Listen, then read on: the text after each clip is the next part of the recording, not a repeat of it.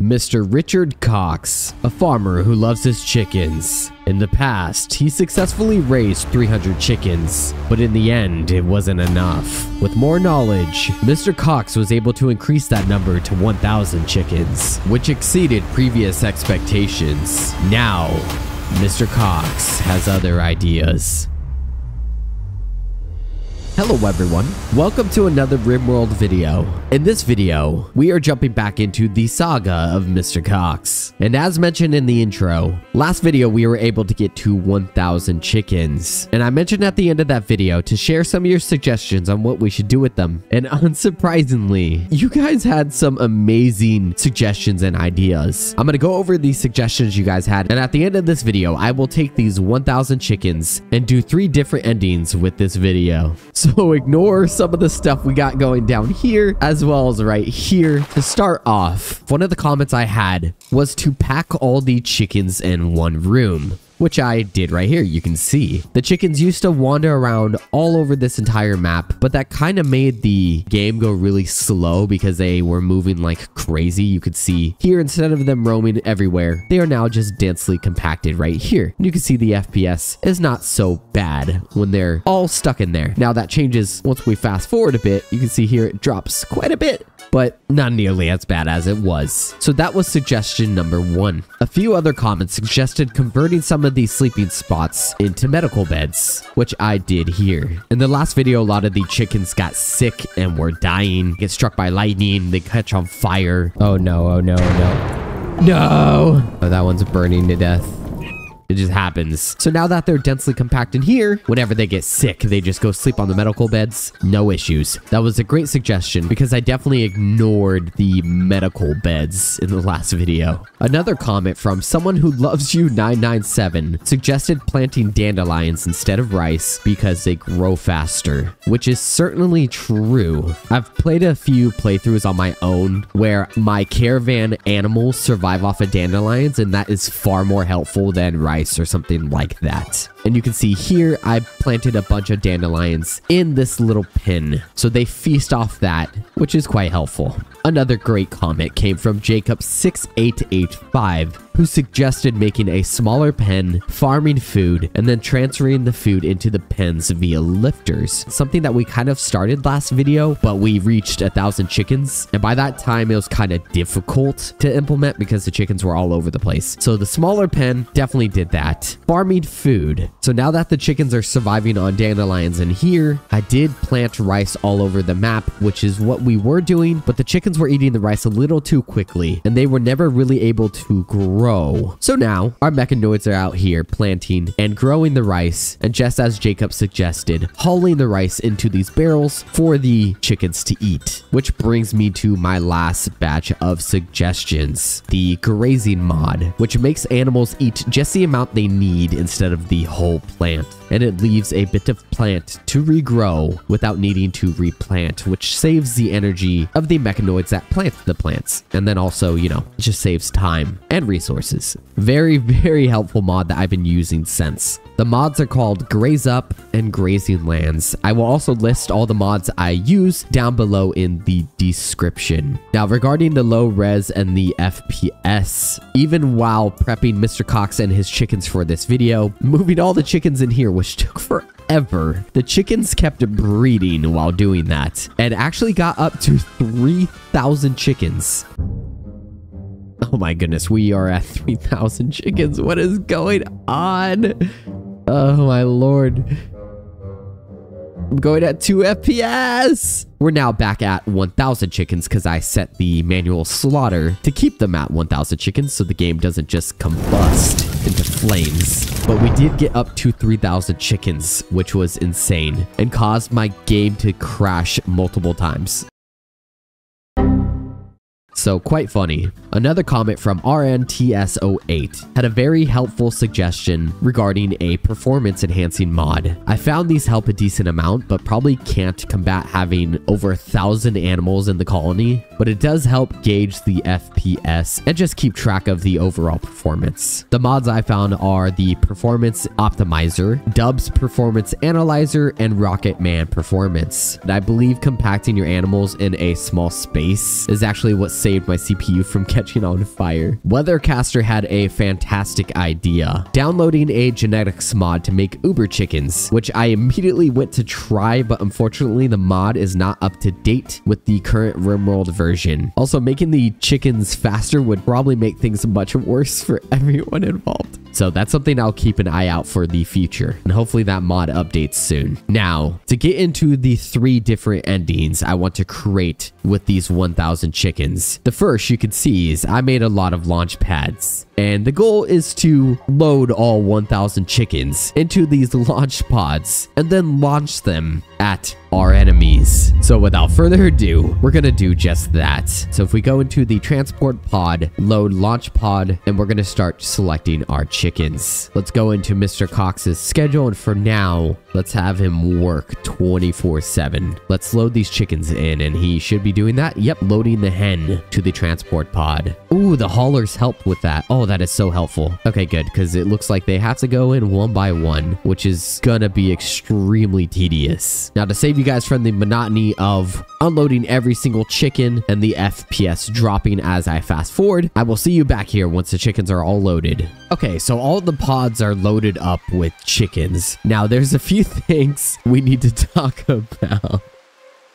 One is that when you go to load the chickens into the pods, if they just had the name hen or chicken or a basic name like that, like these guys have over here, hen, hen, hen, chick, they don't load well into the pods to the point where it makes our colonists and our mechanoids glitch, where they just get stuck standing. Now, because I work in tech in real life, I was able to test it until I figured out the solution. And the solution is naming each chicken individually. So if they have their own individual name, they can then be loaded into the pods. So we are making a huge dent in the thousand chickens. I believe these pods have about 200 chickens because if we go to the animals, we have 800 in the pen. So we'll go ahead and launch these guys and the next launch we'll have a lot more of the chickens. Now, some of you in the comments might be saying, hey, is it really worth individually naming each of the chickens so you can then launch them into nothingness? And I might say, yeah, it's kind of pointless. But also, I set my mind to doing this and we're going to be doing it it, even if it takes me hours. Okay, so let's select all the launch pads. If we launch it at someone who's considered an enemy, the contents will just be lost. So we're going to launch them to the Natul Treaty. It will be considered a gift. Oh, seems like one went over there. But it made the Natul Treaty change from a negative 5 to a 3. They were very happy. Boom. I guess this is kind of like a glitch to, to get people to like you. All right, let's keep launching them at them. And off they go. Wow, they are now at positive 70. Well, it's time to rebuild the transport pods, so let's go ahead and do that. Okay, the transport pods are now rebuilt and refueled, so it's time to start loading the chickens again, and unfortunately they keep breeding. With the first batch of chickens named, we're going to go ahead and load them in, and because they are named, there is no issues. Pretty easy.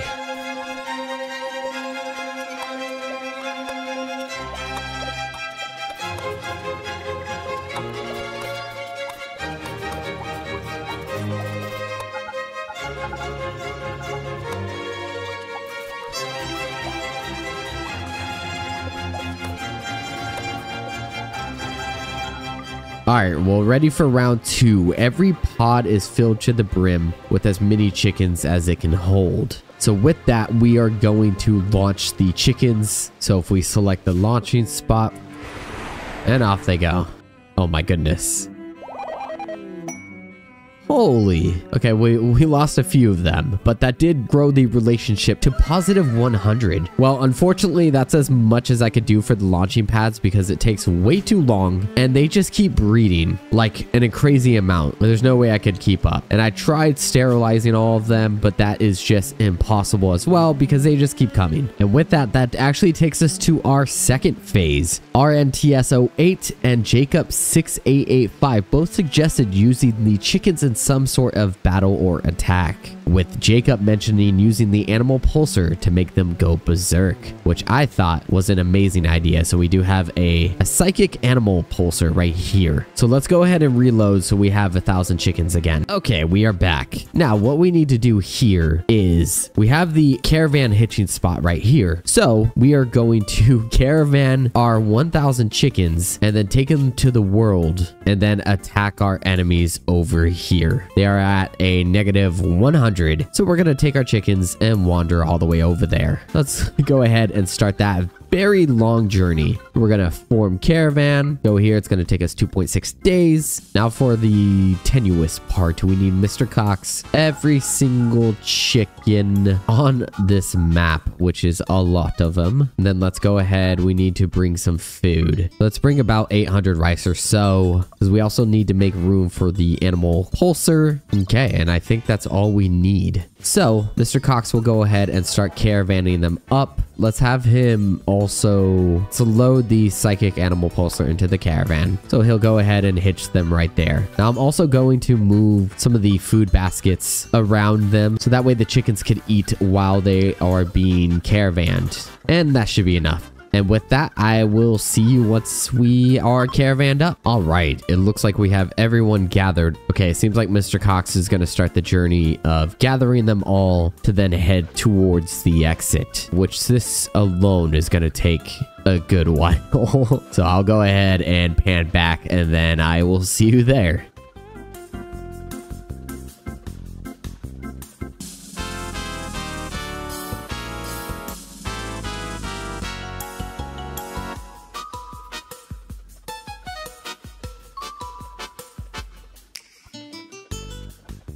All right, he's coming on his last few chickens, which is good because I know he's starting to lose his mind because he is very hungry and tired. And I know the chickens probably are getting tired too. And when I play tested this before, if the chickens get completely tired, they will then fall over. So Mr. Cox has to lead this group to the edge of the map before they start falling over from exhaustion. So I wish you luck, Mr. Cox. You got this. Okay, thank goodness. The edge of the map isn't that far. I thought he had to go all the way up here. Okay. He might actually make it. Come on, Mr. Cox. You're almost there. You're almost there. You're almost there. Fight them. Just get there before they start falling over. All right, cool. All right, now that they're on their way, they can at least sleep and eat on the road. So Mr. Cox, yeah, he was able to eat. And for brevity's sake, I am going to abandon the home. Yes. And we left behind a few chicks apparently. They must have hatched and all of our mechanoids. That means we will be able to move much faster. Yeah, for some reason the game, when you don't have a home, goes much quicker. I think it's because it doesn't have to register the what's going on at the base for raiders and things like that. And in our case, the mechanoids. Now it's Mr. Cox and his chickens, so they're still going slow. But we'll get there soon. All right, we are arriving. Boom, attack begins. Let's go. Oh my god, that's so many chickens. So the good news is, is that they should stay put. And luckily, it looks like they don't have any mortars. They're not going to rain down on us while we are just hanging out down here. Firstly, we need to go ahead and release all of our chickens. Oh no, some of them are going to make Mr. Cox sad because he's bonded to them. All right, I think we might have gotten all of them. So firstly, let's go ahead and drop all of the rice and stuff so that way the chickens will feed on it. And then let's set Mr. Cox to set his work schedule to non-stop because we need him to release all of these chickens. And so it begins.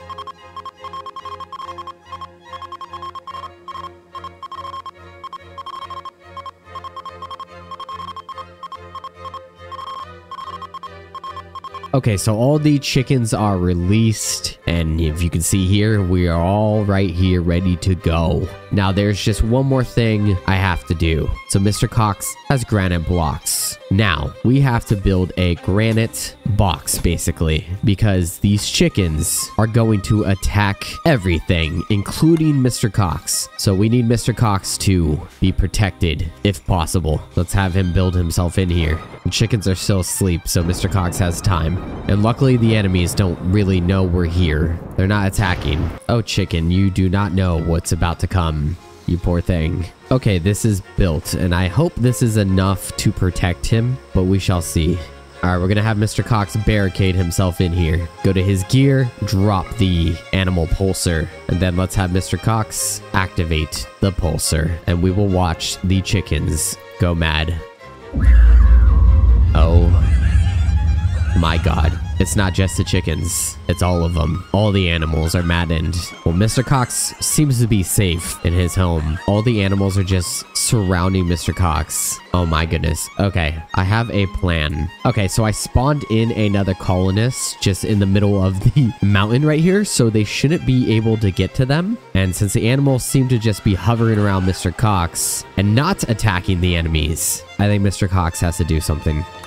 Unrestricted. Go ahead, Mr. Cox. The enemies are attacking my colony? Oh no, they're coming. Wait, Mr. Cox. Stay inside. Stay inside. You might be okay. Uh-oh.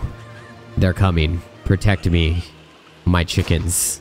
Even though you are not on my side right now, you are indirectly on my team. Get them. One down. There they go. The chickens are attacking.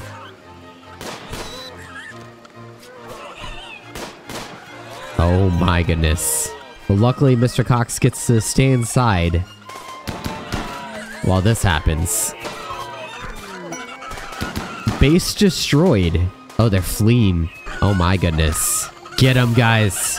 Oh yeah. chicken beak. Look at the chicken beak and chicken feet.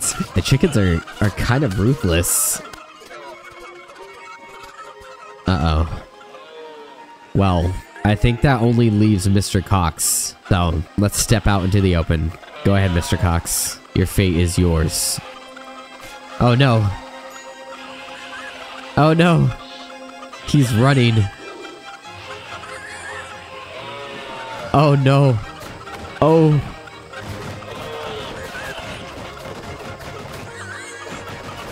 I've never seen this before. Yeah, heal yourself, Mr. Cox. Um, oh, you're gonna go out again. Yeah. Well. Um, that's, uh... Yeah. Your caravan has been lost. The following people, animals, and mechanoids have been lost with it. Mr. Cox. Okay, well that was using the chickens to attack our enemies, and mainly using the Berserk Pulser. Which brings me to the last comment I want to check out, which is from Nonsensical Webby 1663, where he suggested I do a Breaking Bad Los Pollos playthrough, disguising my selling as a chicken farm, which is an idea I may come back to, since I love Breaking Bad, but for now, I created a makeshift restaurant. And for the third ending, we're gonna slaughter all the chickens and make food out of them. So let's go ahead and do that. Let's go to animals, manage slaughter, max zero. And now Mr. Cox will begin slaughtering the chickens. Goodbye, chickens. God, you would think he's a, a well-oiled killing machine by how fast he's killing the chickens. And you can see here the lifter is already carrying the chicken's body to the meat hook.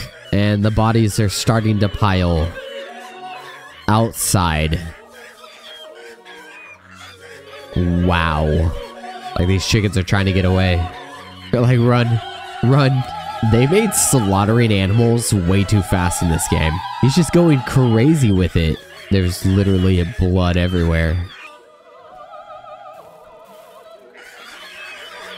Yeah, he took a, a quick meal break and then back to the killing.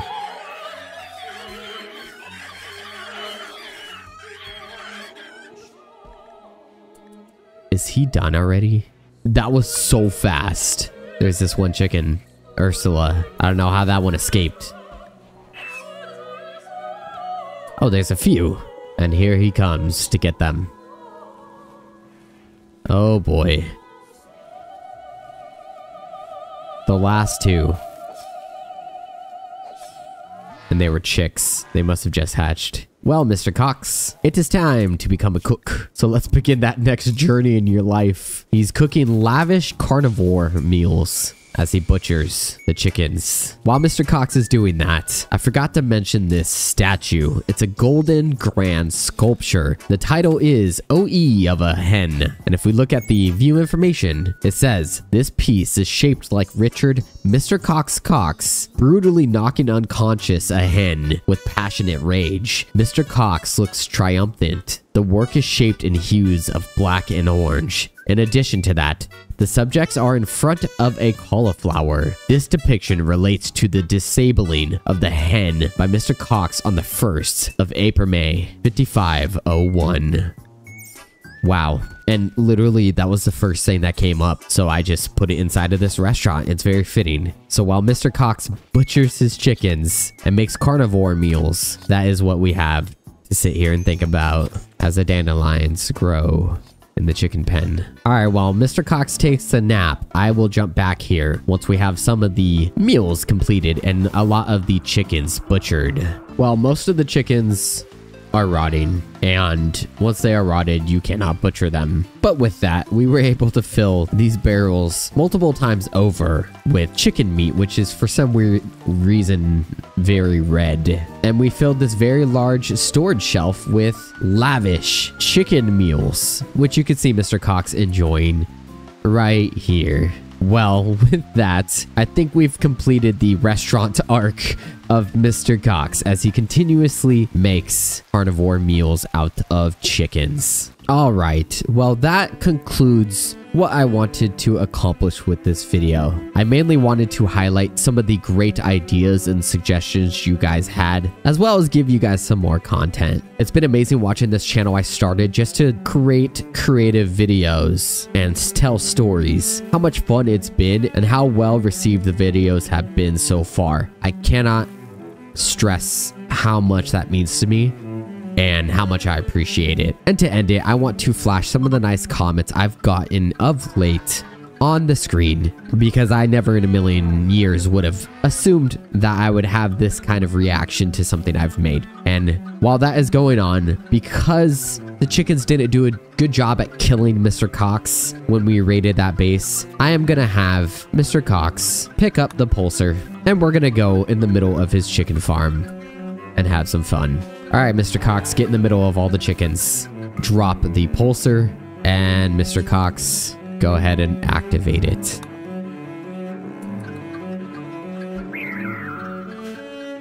I forgot that they have to be wild chickens. Okay, give me one second. All right, well, with a large portion of the chickens outside, we will try this once again. Go ahead and activate the animal pulser. Oh man, they got in a straight line, huh? Wow. Oh my god, they're all coming inside. Oh no. Wow. Yeah, they're all attacking the mechanoids. Oh my goodness, that's crazy. Go, Mr. Turtle. It's your time to shine. Mr. Cox is, is winding down here. And with that, Mr. Cox is down to his last hour as he suffers from extreme blood loss from his chicken bites and scratches and bruises.